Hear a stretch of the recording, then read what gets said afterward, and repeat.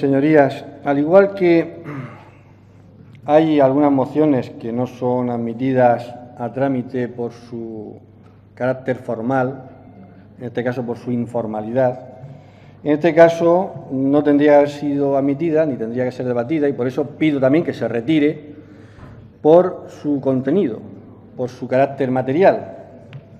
Yo entiendo que esta moción vulnera claramente la Constitución española, atenta claramente contra los principios de igualdad. En la parte resolutiva, cuando se señala que se incluya a las embarazadas y madres jóvenes que lo soliciten dentro de los casos que la comunidad establece para recibir educación a distancia, hay una vulneración clara y evidente. Se habla de las madres jóvenes y los padres también tienen una responsabilidad evidente y, por tanto, también son susceptibles, en consecuencia, de estar también de incluirse en estos supuestos de una forma clara y evidente, salvo que se presuma que la razón por la cual está en una situación embarazosa la madre sea por motivos espirituales y no porque eh, eh, haya sido un hombre el que haya generado esa situación embarazosa. Salvo esos supuestos, pues se podría entender, pero vamos, yo creo que todo el mundo con sentido común admite que esos supuestos pues no se pueden contemplar desde el punto de vista legal.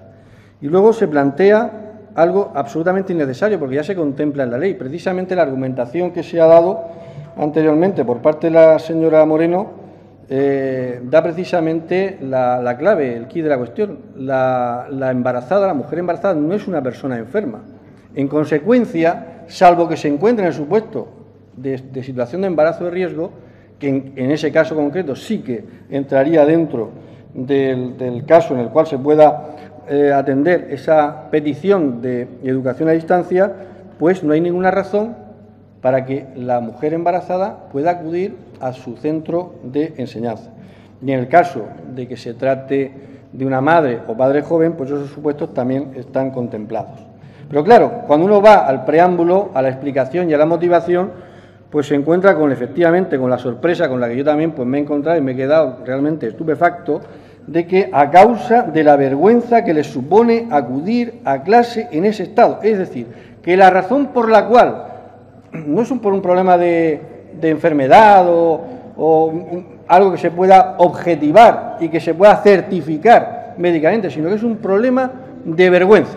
Es decir, que si pongamos por caso que un negro, un ciudadano negro, de color negro, tiene vergüenza del color de su piel, también podría acogerse a ese supuesto, o una persona que tenga alguna discapacidad y sienta vergüenza por tener esa situación de discapacidad o porque lleve, como dice la señora García Rategui, gafas y tenga vergüenza por llevar gafas, en ese supuesto también debería recibir educación a distancia.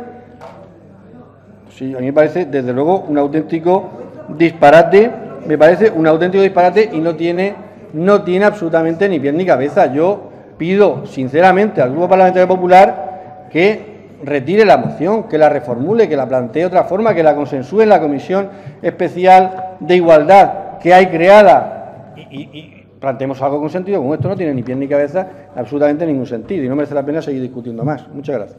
Gracias, señor Pujante. Señora.